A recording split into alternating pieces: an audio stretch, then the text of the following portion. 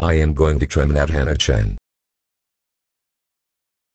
Kalu thanks for terminate Hannah-chan you're ungrounded.